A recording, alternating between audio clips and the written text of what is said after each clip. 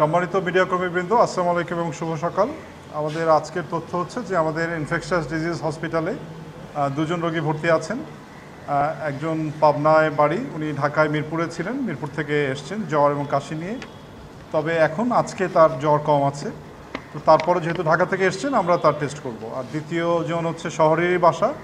ওনার বাসা হচ্ছে নওদাপাড়া। উনি একজন ব্যবসায়ী। ওনার জ্বর, কাশি আছে, ওনাকে আমরা টেস্ট করব। আর আমাদের এই রেসপিরেটরি অবজারভেশন ওয়ার্ডে এই মুহূর্তে মাত্র দুজন রোগী আছে, একজন মহিলা এবং একজন পুরুষ। তারা কোভিড সাসপেক্টেড না, তারা অন্য রেসপিরেটরি রোগে ভুগছে তারা তাদের চিকিৎসা চলছে। এই, এই- হচ্ছে আমাদের আজকের তথ্য আর কি। না, যিনি রাজশাহী শহরের যিনি, উনি দেশের বাইরে কোথাও যাননি ঢাকা থেকে আগত অথবা বিদেশ থেকে আগত কারও কন্ট্যাক্টেও আসেন আর যে ছাত্রটা ছাব্বিশ বছরের, পাবনা থেকে পাবনায় বাড়ি যায়। সে যেহেতু ঢাকায় মিরপুরে ছিল, একটা আপনারা জানেন যে ঢাকা একটি এলাকা যেখানে কমিউনিটি ট্রান্সমিশন হচ্ছে। সেই জন্য আমরা তাকে সিরিয়াসলি নিয়ে তাকে আমরা ভর্তি করে টেস্টের ব্যবস্থা করেছি। জি, আমাদের ওভারঅল হাসপাতালে রোগী ভর্তির সংখ্যাও কম। মানে রোগী কম আসছে লকডাউনের জন্য রোগী মুভমেন্ট কম হচ্ছে।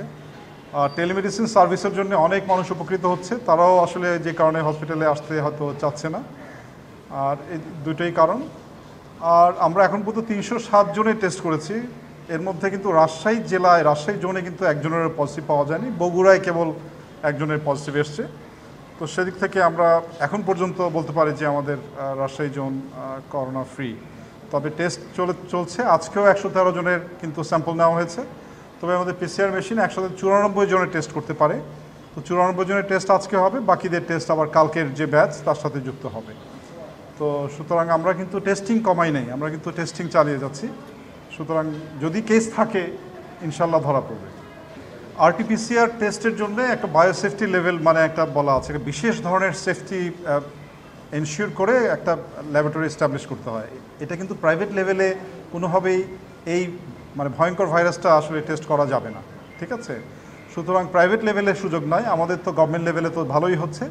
প্রাইভেট লেভেলে হয়তো ওই যে একটা অ্যান্টিবডি বেসড কিছু টেস্ট আছে, সেটা যদি কখনো বাজারে আসে, সেটা হয়তো প্রাইভেট লেভেলে গভর্নমেন্ট যদি মনে করেন যে তারা প্রাইভেট লেভেলে দিবেন, তাহলে দিতে পারেন। কিন্তু এই মুহূর্তে এই ভাইরাসের টেস্ট প্রাইভেট লেভেলে পিসিআর টেস্টটা প্রাইভেট লেভেলে করার কোনো সুযোগ নেই। হাসপাতালে, আমরা কিন্তু গভর্নমেন্ট বলার পর থেকে সম্পূর্ণরূপে ছুটি বন্ধ আছে। শুধুমাত্র ম্যাটার্নিটি লিভে যদি কেউ থাকে, সেটা। তাছাড়া শান্তি চিত্তবিনোদন আর্ন লিভ কোনো লিভই আমরা দিচ্ছি না। কোনো ডাক্তার ছুটি নাই। আমাদের ছয়টা অ্যাম্বুলেন্স আছে। ছয়টাই ফাংশানিং ছয়টাই ফাংশানিং আমাদের ছয়টা অ্যাম্বুলেন্স ছয়টাই ফাংশানিং এবং ছয়টাই চলতেছে। এবং আমাদের এখনও কালকেও দুটো ঢাকাতে রুগী নিয়ে গেছে, আমাদের ছয়টা অ্যাম্বুলেন্স চলতেছে। আর আমাদের নর্মাল কাজকর্মও কিন্তু সবই চলতেছে। কালকে যেরকম ইমার্জেন্সিতে রুগী আসছিল দুশো তিরানব্বই জন। আর এই মুহূর্তে ভর্তি আছে পাঁচশো আটষট্টি জন। আপনার আসতে যাবেন যে দুই দিনে অপারেশন হয়েছে ছিয়াত্তরটা।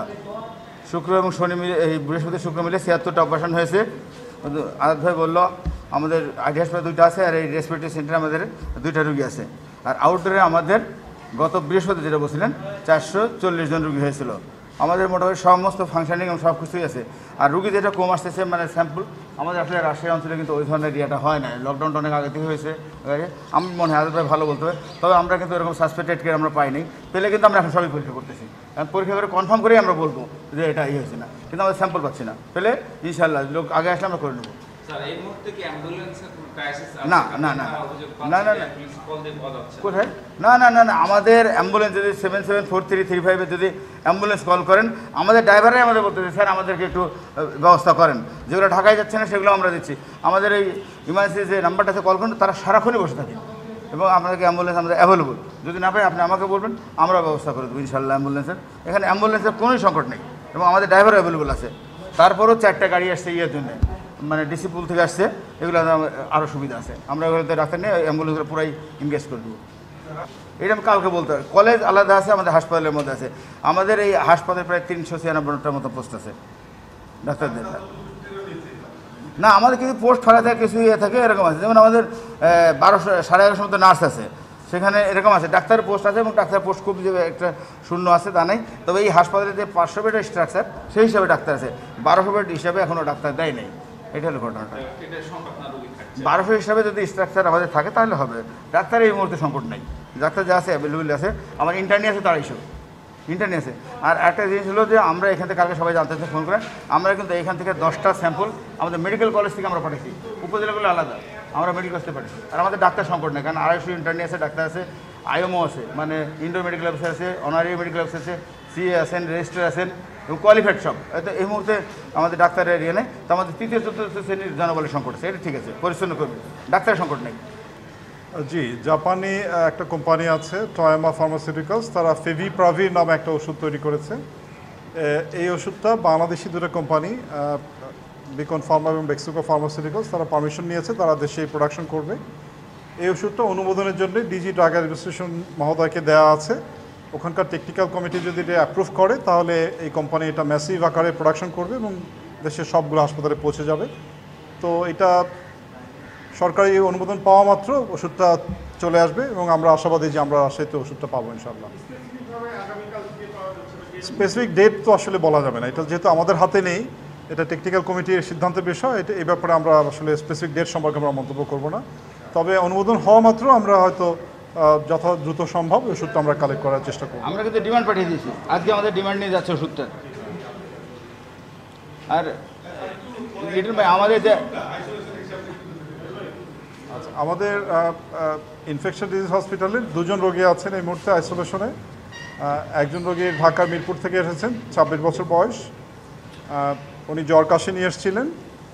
ওনার জ্বর এখন কমে গেছে, কিন্তু যেহেতু উনি একটা কমিউনিটি ট্রান্সমিশন জোন থেকে এসেছেন, সেজন্য তার আমরা টেস্ট করার সিদ্ধান্ত নিয়েছি। আরেকজন রোগ রাজশাহী শহরেরই বাসিন্দা, উনি নওদাপাড়ায় থাকেন। ওনারও দুদিনের জ্বর এবং কাশি আছে। তো তাকেও আমরা সন্দেহভাজন হিসেবে টেস্টের জন্য স্যাম্পল কালেকশন করেছি। তো রেসপিরেটরি অবজারভেশন ওয়ার্ডে আমাদের দুজন রোগী আছেন, একজন মহিলা এবং একজন পুরুষ। তারা কেউ আসলে কোভিড সাসপেক্টেড রোগী না, সেজন্য তাদেরকে এখানেই রাখা হয়েছে। তারা ট্রিটমেন্ট চলছে, তো তারা ভালো আছে। লিটন ভাই, একটা জিনিস আমি আপনাদের আশ্বস্ত করতে পারি, যে করোনা রোগীর ব্যাপারে ভাই যেহেতু কোঅর্ডিনেটর আমরা কিন্তু মোটামুটি প্রিপারেশন নিয়েছি, ভয়ের কোনো কারণ নাই। রুগী আসলে ইনশাল্লাহ আমরা সার্ভিস দেওয়ার মতো প্রিপারেশন রাখছি এবং টিমও কমপ্লিট করে ফেলছি, ইনশাল্লাহ। কুষ্ঠ মোটামুটি মনে রাখেন উনত্রিশ নম্বর ওয়ার্ড, তিরিশ number ward neuro surgery burn unit আমরা খালি করে ফেলেছি। উনচল্লিশ, চল্লিশের রেসপিরেটরি ওয়ার্ড আইডি হাসপাতাল, কুষ্ঠ নিয়ন্ত্রণ কেন্দ্র এবং সর্বশেষ আমরা মিশন হাসপাতালের সাথে চুক্তিবদ্ধ হচ্ছে। মিশন হাসপাতালটাকেও আমরা এখানে নিয়ে নিচ্ছি। আর আমাদের আইসিউ পনেরোটা কমপ্লিটলি ফাংশনে আছে উইথ ভেন্টিলেটর। আর আমাদের গাড়ি গেছে, আমাদের পাঁচটা ভেন্টিলেটর হয়তো আগামীকাল আমরা চলে আসবে। হয়তো ইনস্টল করতে কয়েকদিন সময় লাগবে। মানে পেরিফেরির মধ্যে আমাদের কিন্তু সবচেয়ে ভালো এই আইসিউ ভেন্টিলেটর ইউনিটটা আছে। এটা আমাদের আশেপাশের জন্য সৌভাগ্য। তো আমি আশা করব যেন আমাদের রুগী না হোক। এই লকডাউনটা মেনে এই যে আপনি যে বললেন রুগী কমতেছে, এটা কিন্তু লকডাউনের ফল। কারণ লকডাউন করার জন্য অন্য জায়গার লোকের সাথে আমাদের কিন্তু মিক্সিং কম। যার ফলে আর আমাদের রাজশাহীর লোক কিন্তু একটু হোম সিকনেস বেশি। আমাদেরও, আমরা বাইরে যেতে চাই না। যার ফলে এটা কিন্তু একটা ভালো একটা লক্ষণ।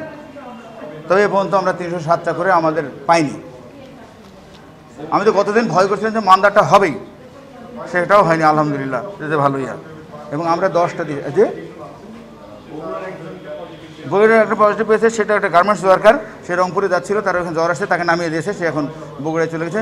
আমি গত কালকে খোঁজ পেয়েছে, আমি সে ইয়ে সাথে কথা মোটামুটি নাকি সে এখন ফ্রি আছে, ভালো না। যেহেতু বয়স কম এদের আছে। না না দুটো আইসিউ লাগে হলে যে সমস্ত গুরুতর রোগে ধরেন হেড ইঞ্জুরি হেড এরকম আমাদের প্রত্যেকটা বেডের সাথে ভেন্টিলেটরও আছে। যদি আইসিউ লাগে ভেন্টিলেটর হ্যাঁ হ্যাঁ হ্যাঁ আরও পাঁচটা আসতেছে। আইসিউ বেড সহ পাঁচটা ভেন্টিলেটর আসতেছে। হ্যাঁ কিন্তু পনেরোটা ফাংশন নেই। এই মুহূর্তে আমরা সার্ভিস দিতে পারব ইনশাল্লাহ তবে রুগী যেন না হয়, এটা আমরা আশা করি। Thank you